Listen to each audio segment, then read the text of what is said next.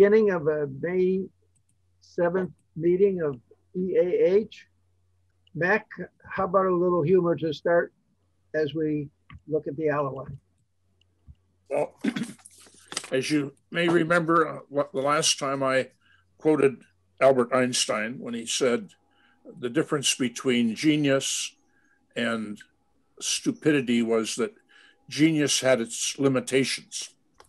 So today, to keep that high level of intellect going, I'm going to quote Yogi Berra, who said, The future, it just ain't what it used to be.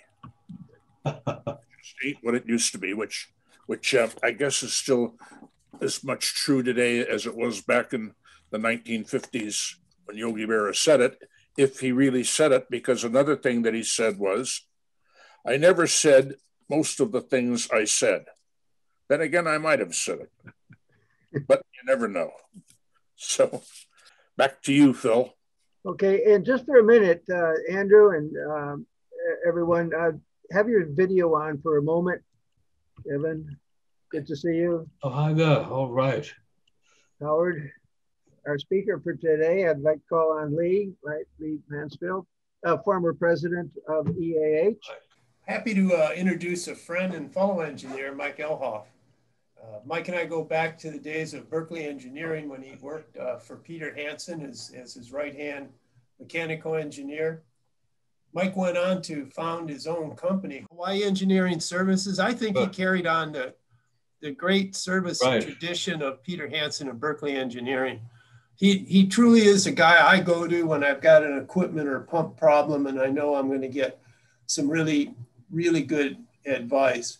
I'll let you just slide right into your presentation. Yeah, thanks everybody, and thanks for your uh, kind words.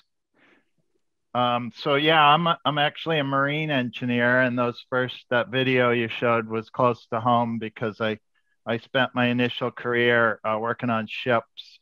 Um, and marine engineering encompasses a lot of electromechanical uh, systems, hydraulics, engines, thermodynamics. And back then, when you were all young folks, uh, we ran steamships. So, uh, and then now it's all diesel and computerized. But anyway, um, that uh, kind of where I got my start. And I, I often tell people that um, we had a sign over the machine shop on our ship, our training ship, and it said, Out here, you can't walk home. So that taught a valuable lesson about you better figure out how stuff works or else you're going to be at the bottom of the ocean. So yeah, that's uh, where I got my training, California Maritime Academy. Uh, I did my EIT, but chose not to pursue a PE um, and ended up into uh, manufacturing and sales in Australia, working for a pump manufacturer, and then in sales in Hawaii, working for a a distributor of uh, municipal and industrial equipment that Lee alluded to. And, and uh, yeah, so I had some good mentorship both in Australia and, and in, in Hawaii. And then, um, so it's been 26 years since I started Hawaii Engineering Services, and our primary uh, market is municipal uh, wastewater treatment, pumping, control systems. So that's me. We have 20 employees and uh, we have a full service division. So we do, we, we have to be able to, just like that machine shop logo, uh, our commitment is to be able to fix anything that we provide. Yeah, and thank you everybody. Uh, it's an honor to speak to you and I, um, you know, hopefully it will be worthy of your time and I'll try to get through as much as I can. So I start with this, and I, I, uh, you know, my dad always told me, uh, you know, no good deed goes unpunished. So I'm volunteering my, my, uh, particularly my pumping experience is how this got started because the Army Corps was looking at pump stations in the canal. And then having lived here for 35 years and having lived in upper watershed of Palolo, actually at 600 feet elevation, uh, Manoa. Um, I actually lived on a sailboat in the Ala Wai. So I've I've hiked and ocean and everything, and I think that's an important component of anybody who, you know, looks at a system is to look at it holistically and to look at it not just uh, with your expertise, but to listen to other people uh, and to look at your own experience. So I stepped into this uh, trying to bridge the gap because I saw a 10 or 15 or 20 year struggle uh, to resolve this situation. And the, the community pounding their fists saying the Army Corps is not listening, and the Army Corps saying, but we've given you every option. And, and then this community saying, but you're not listening. And so um, I've tried to step in and offer what I saw after really digesting this for a good part of a year and looking at all the data as to break this down to a five step solution. And there's a lot of components within those five steps. Um, Bob pointed out, you know, the streams themselves are, that's a whole nother study. So, um, but there's been a lot of studies done, a lot of money spent, um, a lot of scope changes and I've tried to be respectful to both the Army Corps with the, the tools they've been given, the budget they've been given, the scope they've been given, as well as the community. Um, and so that's, so here we go. So I like to start this with this slide because to me, my, my experience is the biggest loss here is that we have this amazing body of water right in the heart of you know, uh, Waikiki that is com- almost completely unused, other than canoe paddlers who, for fear of death, fall into this body of water. So, so that, and you can also see in this picture some crumbling concrete, and that is uh, going to come back in this presentation. This is a five-step solution, and I presented this to Army Corps uh, some legislators, DLNR, city council members, community. Uh, so in various evolutions. So this is the latest evolution. So this is really the five steps. And basically, um, number one is to increase the watershed absorption and minimize erosion from invasive pigs and plants. So when I came into this, I'm a pump guy. I know how to water moves, but in the in the scheme of things, this is where it all starts is in the forest. And this is so neglected and around the world as, you know, Mother Nature figures this stuff out and then we figure out how to screw it up. So number two is integrated detention basins at the Ala Wai golf course and in Manoa. Number three is dredge the canal to its original 15 to 25 foot depth. Number four is to install a 30 cubic feet per second fresh seawater pump. And by fresh seawater, I mean from the ocean at Kapahulu Pier and micro tunnel to the canal.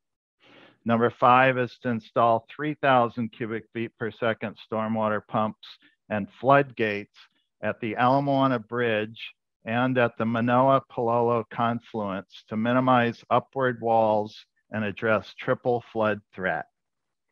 So I'll try to roll through these, but that's pretty much it as far as what I think needs to happen. So here's a pictorial summary of the uh, canal related issues and particularly pumping requirements. So the video showed that we get uh, seven and a half times the rainfall in the mountains as we do here in this picture. Um, and that's important to remember. And the video also showed a significant debris field, which contributed to the Manoa and area flooding in 2004, I think.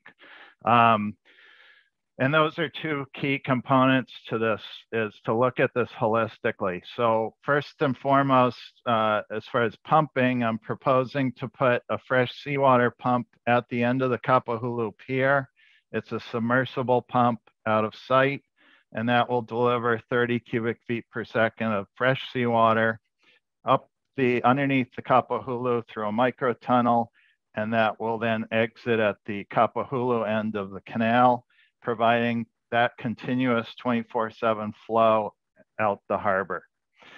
Uh, number two is uh, to put a golf course detention and debris basin uh, integral to the golf course so that the golf course can still function, but uh, it will serve to some small capacity what this entire, uh, what you're looking at used to be, and that's a wetland. And wetlands we know have enormous benefit, but we got rid of it and we dug this canal. And we dug this canal single-ended.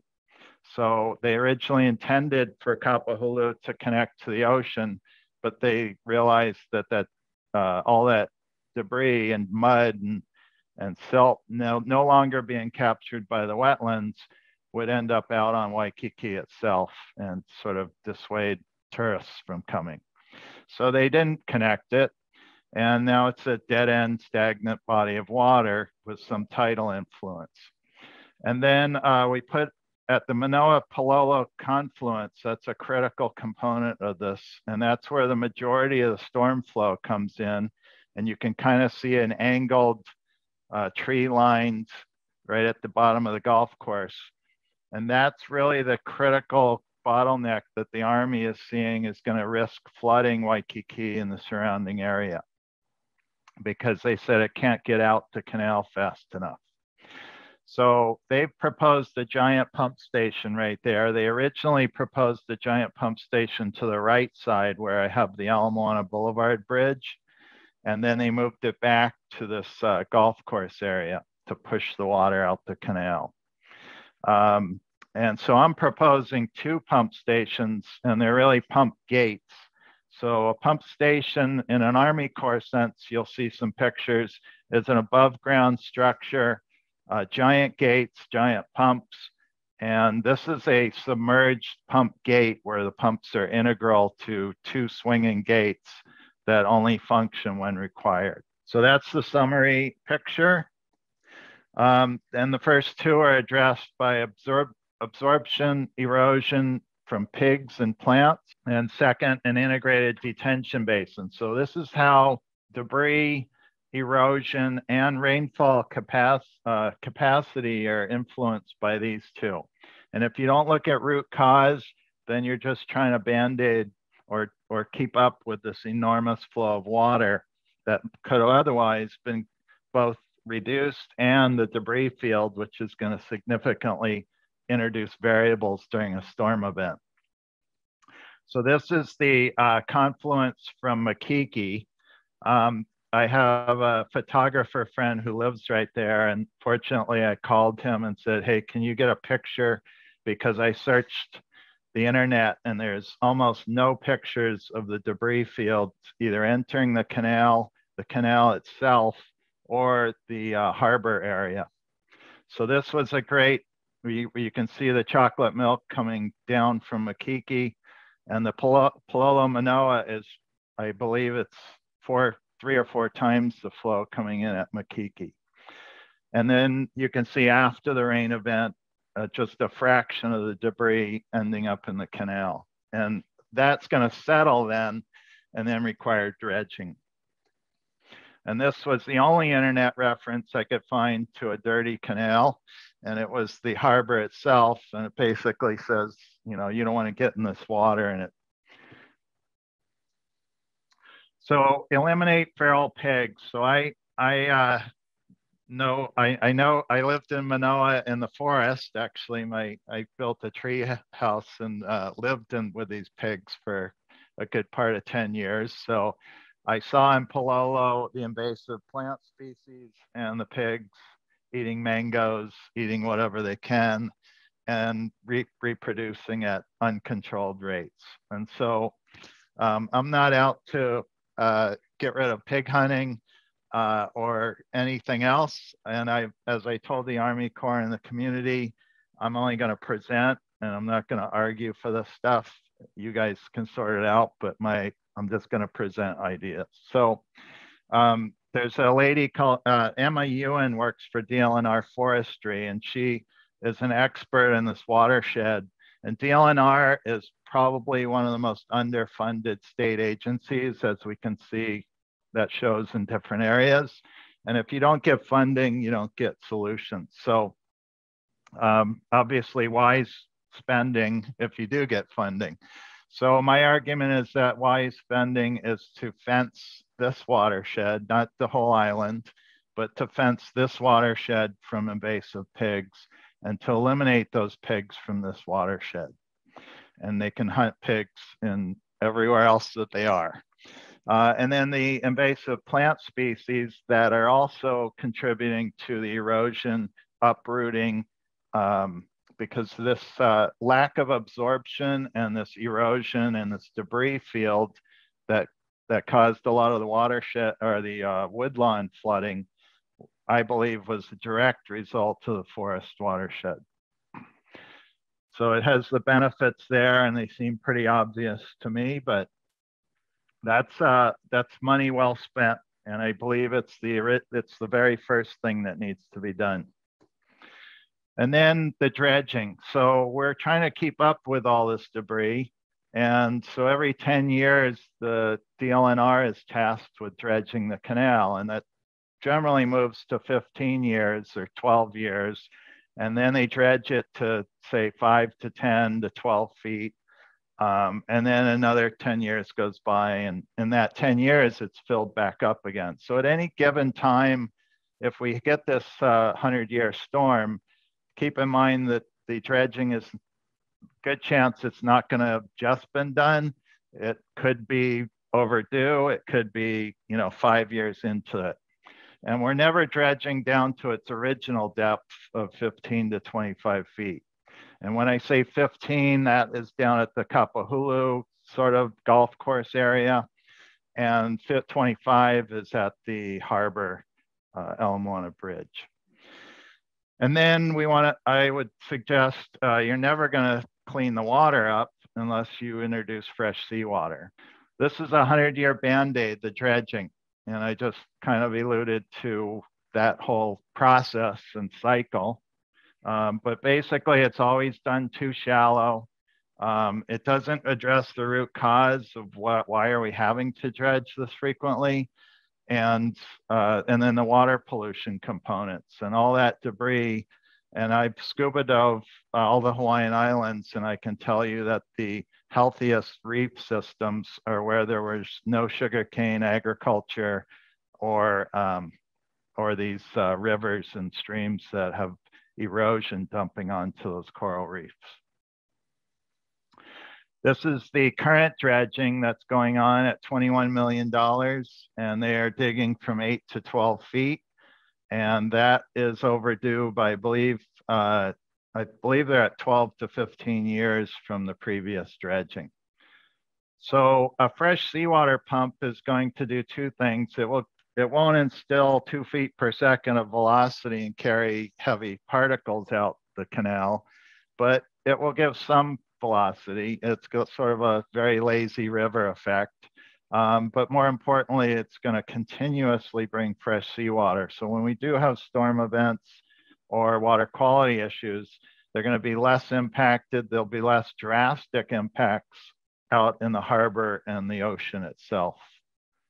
And this was, uh, un, and this wasn't my idea. This was in 2015. The DLNR did a study of the Ala Wai Canal flushing system and the golf course detention.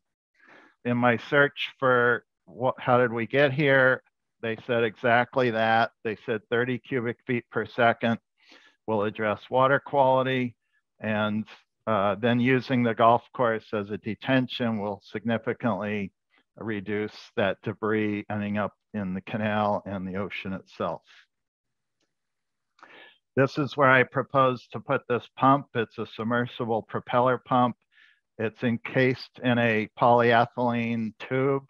Uh, so minimal corrosion. It has zinc anodes and it needs to be pulled maybe once a year for inspection, zinc replacement, and it would be out of sight and attached to the very end of that pier, sitting in about 10 feet of water with a giant um, screen to keep people out and anything else out.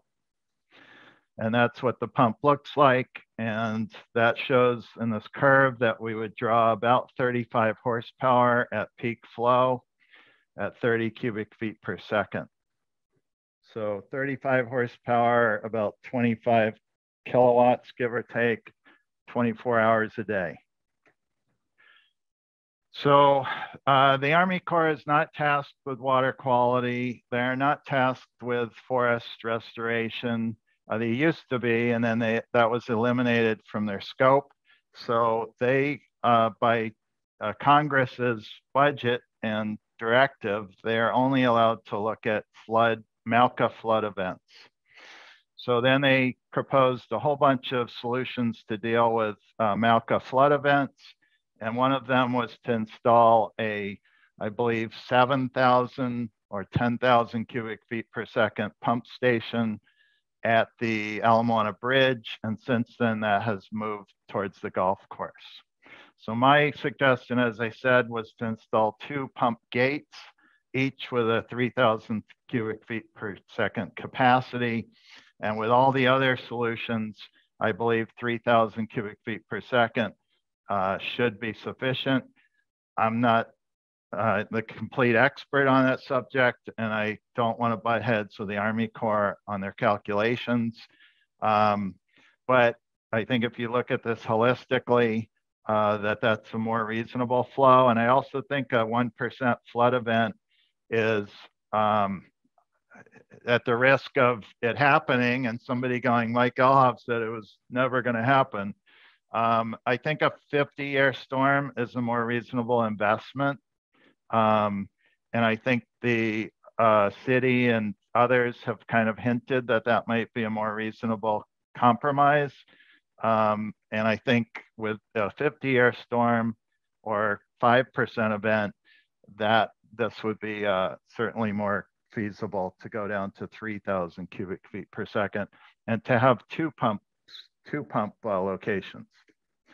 So one thing the, the Army Corps cannot look at, and that is uh, items two and three, which is a category five hurricane storm coming from the south or sea level rise groundwater inundation.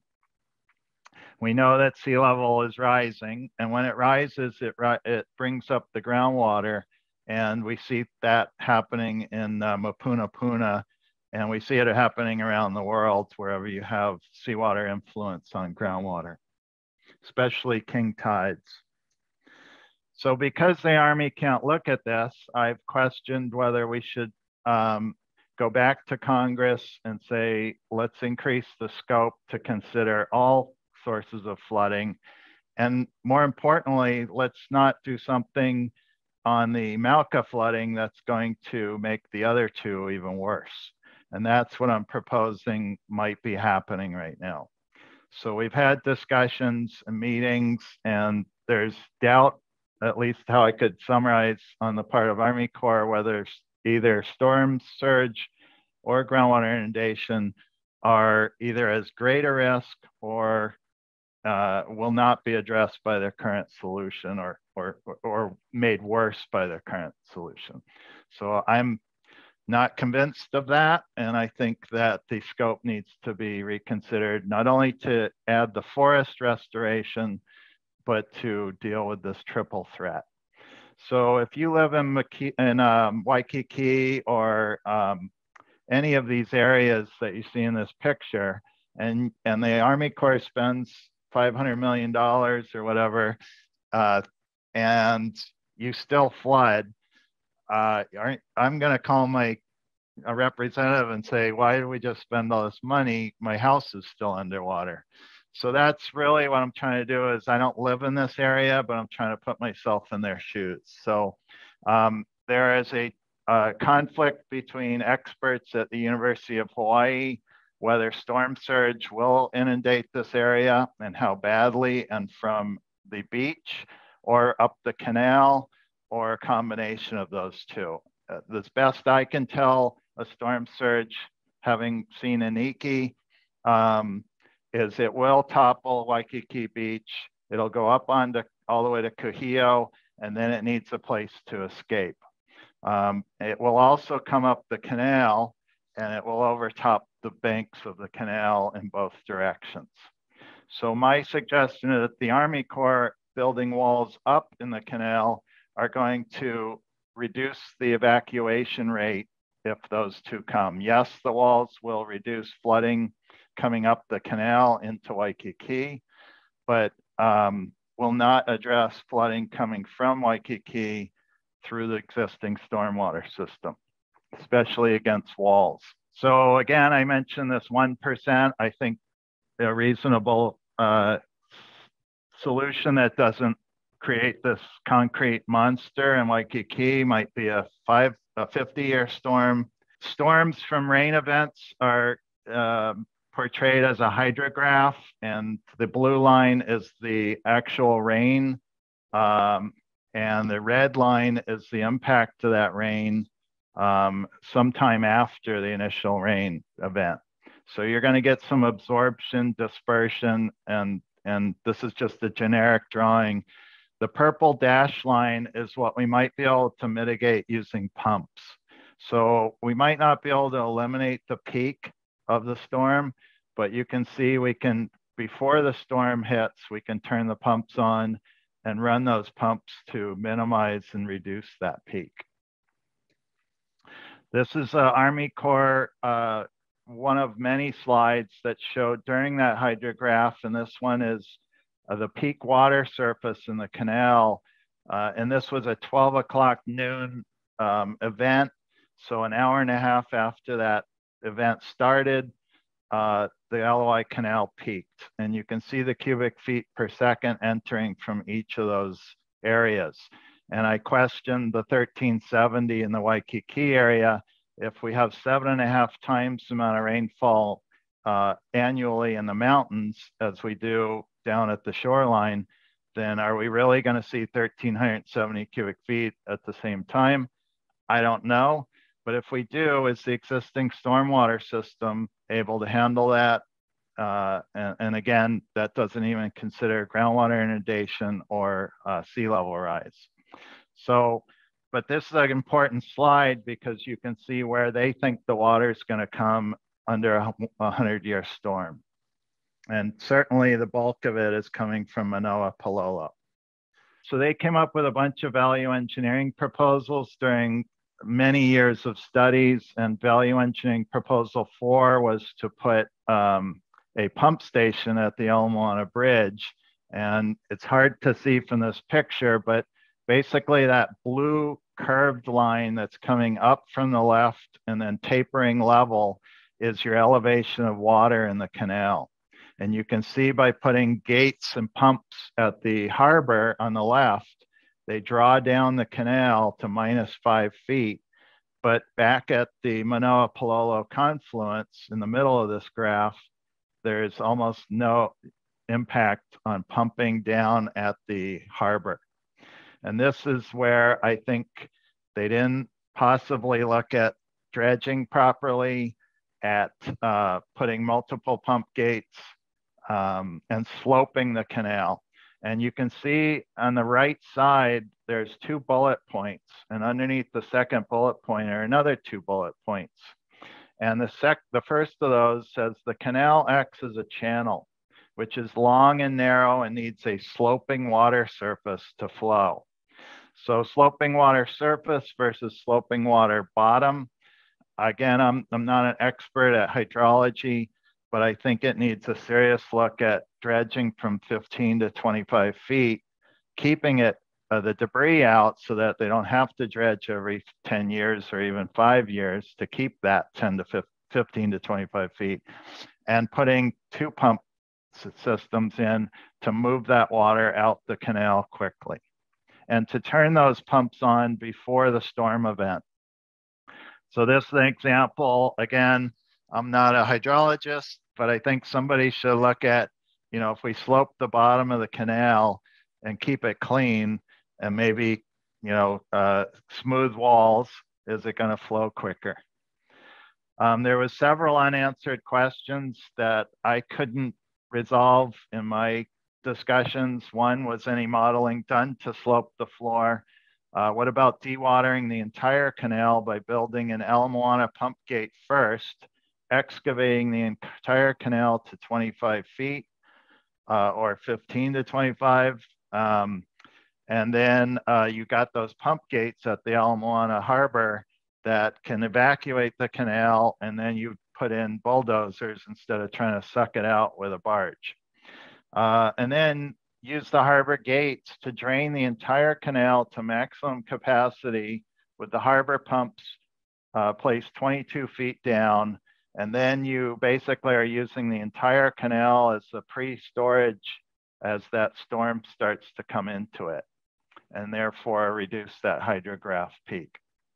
And then we need to study the drainage of Waikiki from Kalakaua to Kuhio to the Ala Wai Boulevard and see how it can address storm and um, groundwater inundation and mauka flood events.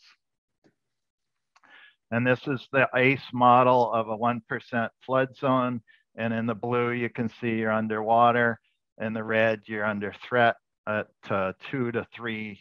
These are meters. No, these are feet. Must be feet.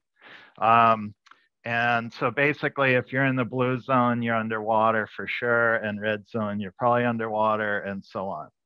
And so the idea to me is to keep use that canal as a drainage um, basin and turn those pumps on only when you see 50 year or 100 year events or when you really are going to overtop these wall existing walls. And then again, the category five hurricane from the south and the green groundwater. So this is a UH study that was done showing storm surge flooding. And you can see it looks somewhat similar to the mauka flooding. And so you really should think about dealing with both. And currently the ACE scope is not. And one reason is they say we don't agree with this model. So I'm not going to be in the middle of that argument, but some people think this is an accurate model and some people don't. Um, comments from local experts regarding coastal flooding. Both the beach side and canal side are highly vulnerable to flooding. I'm not sure where they're getting the 50 year time horizon for groundwater inundation. So the Army Corps thinks it's going to take 50 years before we see groundwater inundation from sea level rise. Uh, I agree the canal area will be the first to see flooding from overtopping before the beach side and goes on to explain that, but certainly it says, uh, for example, the Wai will be impacted by storm surge before Kalakaua because it's lower lying. But that's if you're only taking into account still water levels, not wave setup, which would likely push water into the streets on the ocean side. This is an Army Corps uh, concept that uh, ended up on the news. I don't know if the Army Corps drew this, but somebody drew this and ended up on the news as to what an elegant upward wall would look like in the Waikiki Wai Canal. And so uh, my frustration is that the community doesn't want it. And I see why. And it, it this is as good as I've seen in, in a, a depiction, but really you're, you're walling off an amazing water resource that we should be jumping in, splashing around in. And this is the sea level rise inundation flood zone model. And here you can see if uh, sea level rise as 10 years from now, 25 years, and the Army Corps thinks it's 50 years, but uh, science, scientists I talk to uh, do not feel, they feel it's it's going to keep escalating over the next uh, decade, two decades. So how do we deal with this flooding? So if you put walls up and you don't evacuate the canal, there's nowhere for that water to go. So this is why a pump gate at the Ala Moana Bridge, Ala Moana Boulevard Bridge, which could evacuate the canal even three or four feet would act as a drainage basin for the sea level rise and pushing it back out. So the problem with walls upward is they limit drainage from Waikiki from all sources. They obstruct the view and access. They require a complete redesign of all buried utilities, and they do not fix the crumbling canal wall foundation, and therefore no pump down storage capacity and no inundation drainage. So those walls that are in the canal, as you saw from the first picture, were never really structurally built prop, uh, you know, for beyond their 100 year life.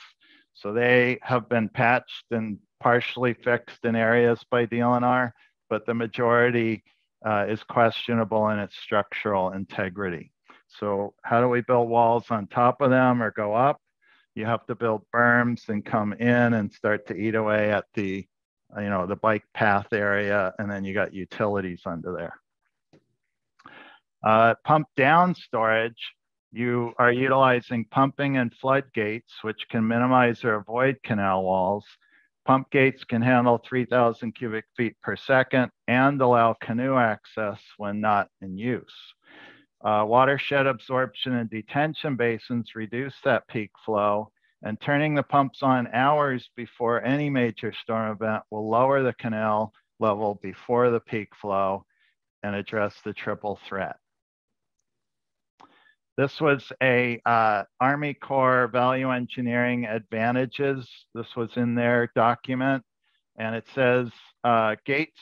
This was their giant pump station they were going to put at the Ala Moana Bridge, and it, it, it basically acknowledges that we can do exactly what I'm proposing, and and that's to uh, elevation, bring the elevation down, and with optimization this alternative can provide the 1% event level of protection and replace all the measures currently part of.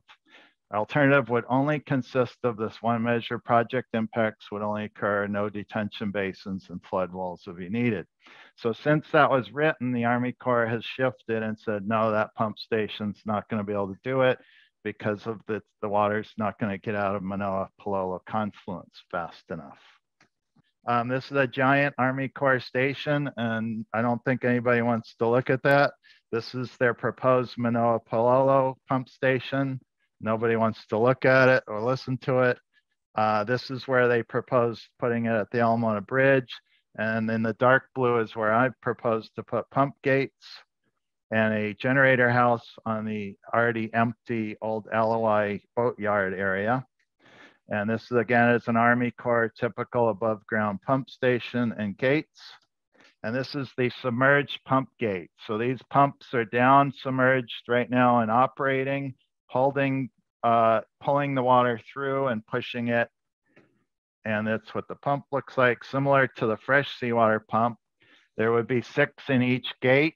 The gates would swing open uh, when not in use, and the pumps would raise up out of the seawater when not in use. And that's where the Ala Moana one would go, right into that bridge. And that's how they would open. And that's the pumps again in the down position operating. And this is the pumps in the up position, not operating and not in use. And so full access to the canal this, the pumps are not rotting in seawater and they're fully accessible from either shoreline for service. The back side of the gates, or the, the front side of the gates where the water is being pulled through. And then this, I don't have time to go through, but basically this is the summary and we need Congress to increase the Army Corps scope. We need to fix the forest um, and look at this holistically. So that's what I got. Um, thank you. I'm sorry it takes so long, but uh, I will shut up now and open up the floor.